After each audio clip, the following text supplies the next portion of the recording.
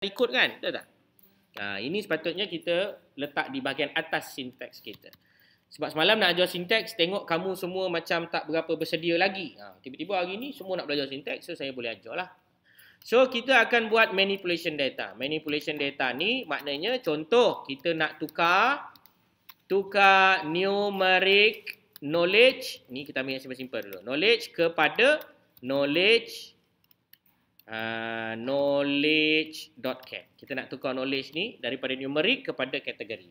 Uh, so macam mana cara dia? Senang saja. Dah ready belum? Kita recap lah. Ni kira kita recap balik semula eh semalam.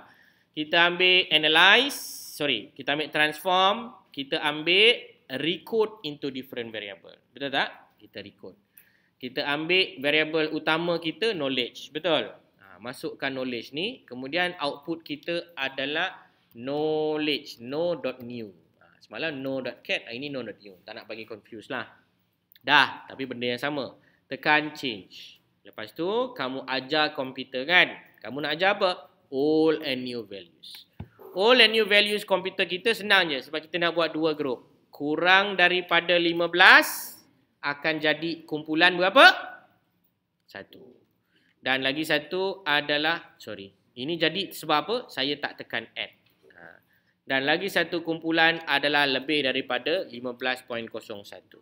Yang ini akan jadi kumpulan 2. Okey. Tekan continue. Baik. Lepas awak masukkan knowledge ni tadi, namakan knowledge, tekan change. Dah tekan change, setting old and new dia.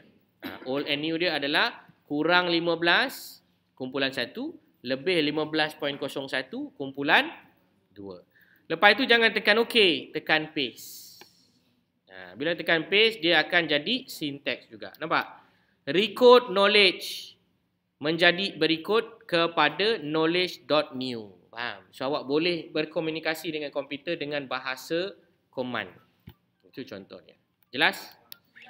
Ulang. Okey, ulang. Saya akan ulang video je lah. Boleh?